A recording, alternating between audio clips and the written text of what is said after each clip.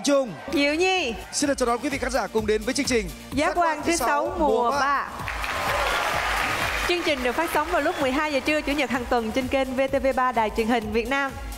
Và hôm nay à, chúng tôi đang mang tới cho quý vị những phút đầu tiên của chương trình Và đương nhiên chúng ta sẽ gặp gỡ với hai người chơi. Nhưng hôm nay tôi phải thấy là trợ lý của tôi mặc một bộ váy đỏ rất là bắt mắt Và nó thể hiện một cái điều gì đó tự tin. Vậy thì khi ở cạnh anh em cảm thấy như thế nào? À, à, Khi à, ở cạnh anh ngoài những cái áp lực ra Thì còn cảm giác rất là sợ sao mà sợ? Anh làm gì em em lại sợ? Tại vì anh rất là hay mắng em Thương cho roi cho vọt, ghét cho ngọt cho bùi Anh có mắng em cũng mong em tiến bộ thôi Em thấy không? Nhờ cái sự góp ý của anh mà bây giờ em trưởng thành hơn bao nhiêu rồi trong chương trình Có đúng không? Cũng đúng À, mặt thái độ thưa quý vị Thế bây giờ em nghĩ là em đủ lông đủ cánh rồi em muốn xa anh đúng không? Em nghĩ cũng đã đến lúc rồi. Được. Thế thì hôm nay à, anh sẽ để em xa anh một hôm Xem em biết mình là ai và còn thiếu gì nhé Dạ vâng. Được. Cũng rất may hôm nay là ngày mà tôi cũng không muốn ở gần trợ lý của tôi lắm thưa quý vị. Tại sao vậy anh? Bởi vì hôm nay à, sẽ là sự góp mặt của hai người chơi Một người cực kỳ xinh đẹp phù hợp ngồi cạnh anh hơn là em. Và một người còn lại thì à, đẹp trai, tài năng Cũng rất cần sự hỗ trợ của em. Em hiểu.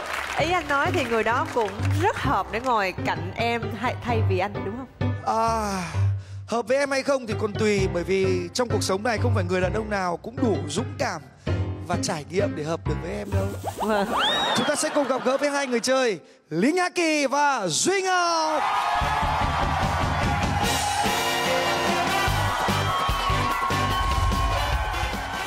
Trước khi uh, gửi lời chào tới quý vị khán giả Chúng tôi muốn hai bạn đứng cho nó đúng vị trí À, thế ạ. Đúng rồi đấy Đấy, em đứng không? Em đứng đây khác hẳn đúng không? Dạ Đây, anh anh có cảm giác em đứng cạnh anh tự nhiên ở đây hình như là ánh sáng nó sáng hơn bình thường hay sao? Cảm giác như là hào quang ấy. Ừ. Đây, khác hẳn kia. khác hẳn anh nhá Mặc dù em mặc đồ trắng nhá, có một số Dạ. người mặc đồ đỏ mà đứng cạnh anh em cảm giác như đời anh tối tăm đi. Đấy. Ờ, Không sao, không sao có em mặc đồ trắng cạnh chị. ừ, Có anh chứ tại sao lại xưng em? À có anh đứng ờ, cạnh em. Thủy nó đã không hợp rồi đấy. Rồi bây giờ thì sẽ là lúc Linh Nhã Kỳ và Duy Ngọc sẽ gửi lời chào tới quý vị khán giả. Lý Nhật Kỳ xin chào tất cả quý vị khán giả đang theo dõi chương trình và hôm nay rất là vui khi được đồng hành à, với chương trình Giác quan thứ sáu. Lần đầu tiên ờ, cho phép Duy Ngọc xin gửi lời chào trân trọng nhất tới tất cả khán giả của chương trình Giác quan thứ sáu ngày hôm nay ạ. Anh muốn hỏi em trong cuộc sống em có phải là người ờ, tin vào trực giác của mình không Kỳ? Dạ có. Có. Vậy là tốt rồi, rất hợp với chương trình. Thế còn Ngọc, Em ờ, cũng tin nhưng mà lần nào em tin thì cũng trượt đấy. vậy thì trực giác của em lúc này đang mách bảo điều gì khi em đứng cạnh Diệu Nhi? Rất đẹp đôi. Rất đẹp đôi rồi.